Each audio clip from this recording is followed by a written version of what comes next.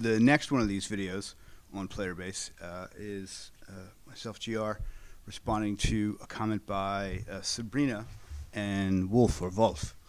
Uh, Sabrina uh, was asking, how do you suggest to get through combat if you don't have your attacks memorized? Which is a, very key. Is actually a very key point. Um, are you suggesting that are ways the DM can support this exercise? And Wolf or Wolf says, if you don't mind handing your sheet to the DM, they can calculate the numbers. And this is, in fact, the way Arneson used to play. Dave Arneson is arguably the Paul McCartney of D&D. If you think of Gygax as John Lennon and um, Wesely and Perren as uh, Ringo and the fancy guitar guy. That pissed a lot of people off just now. The intersectionality, people getting really upset about Beatles um, in jokes and uh, or out jokes, and this video is probably pretty slim. Uh, the point is though, Arneson would play like this. He would he, he the character sheets they were his. He, all the dice was his.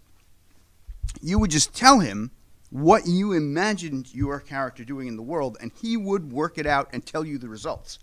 So you never got stuck just looking at the character sheet. But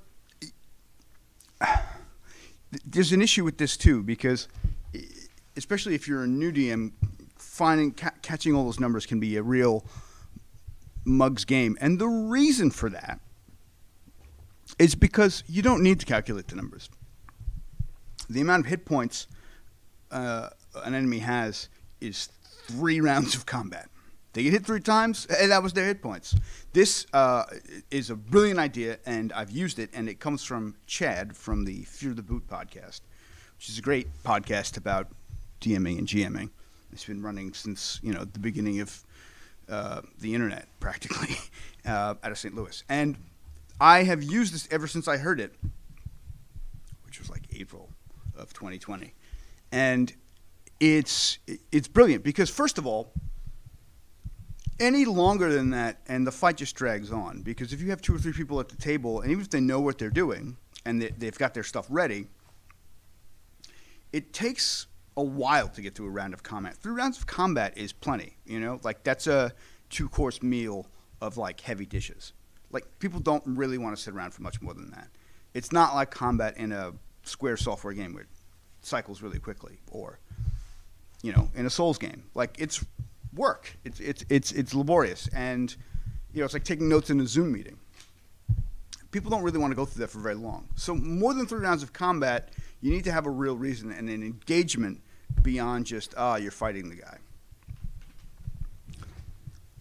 But you know the other thing is uh, one of the reasons that Arneson would play like this is because the player's job is to imagine how they would act in the world and the dungeon master, the game master's job is to make that a reality.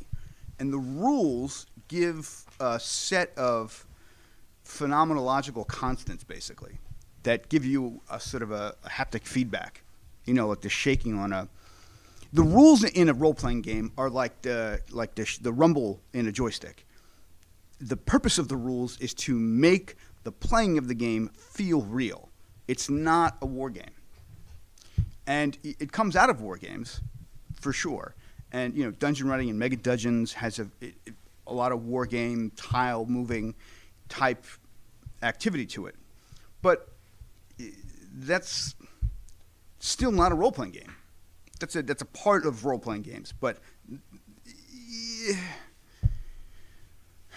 Like you know nobody is coming to the table looking to do that not playing fifth edition because all those people are older than 35 and they all have like $20,000 worth of old material. And if they're watching this channel, hey, what's up? I'm invite me to your game. I'm happy to run something out of the white box. But that's not what people are coming to the internet to look for. Nobody's doing that. Nobody's playing D&D and going, "Oh, man, I really want this to be more tactical war game." No, you don't. No, you don't. You can you can download you can download Final Fantasy Tactics or Front Mission or Warhammer or like there's literally multi billion dollar industries that do all that work for you and it's much more engaging. You don't need that from something where all the math has to be done in pencil. It's not necessary, and it's not that much fun. It's just not. And I will stand by that. And I like tactical role playing games a lot.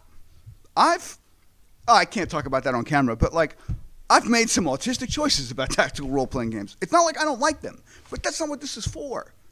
You know, 75% of the populace of people who play uh, role playing games, particularly, well, D&D, are under 35. You know what that means? That means that they've never had to work with THAC0. They've never had to figure out negative armor class. They've never had to get into the type of like rules like 95 treatises martin luther type schisms that the 80s and 90s and the early 2000s were fraught with. I mean the way that people used to discuss like d&d in particular but role-playing games in general uh, was akin to the protestant reformation. It, with the same fervor and also the same bewilderment looking in hindsight you know, people took the verisimilitude and the realness of the rules very seriously, but not because it's a combat game, because the rules simulate a reality and they allow you to experience what Tolkien calls the secondary world in a way that feels like the cause and effect of our reality. And that's the point. And getting stuck on the character sheet is going to draw you away from that you don't that's not going to help you. What you're looking for whether you know it or not why you're playing d&d as opposed to just final fantasy tactics or you know painting a bunch of minis and you know running age of sigmar is because being immersed in a world that is fantastical but still believable has a palpable draw. And you're not going to get that by staring at your keychain for 20 minutes every time a round of combat comes around. You need two weapons. That's it. I guarantee you, you get two weapons that you like using in the, and you like using them because you feel like you're using them in the world. You don't actually have a sword in your hand, and last I checked, no one can actually catch magic missile or cast magic missile. Oh, mm, mm. sorry, my mouth's dry because I'm so emphatic about this. Anyway, let me know what you think. Uh, see you later. Playerbase. Sure.